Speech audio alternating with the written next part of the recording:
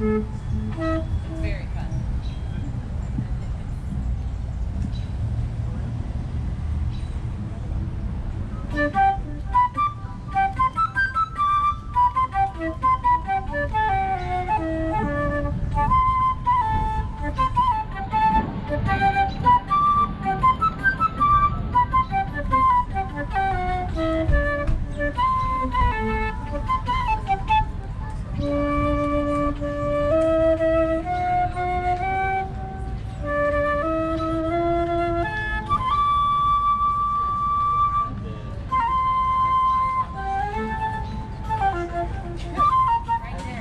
Oh, I guess we did pass it.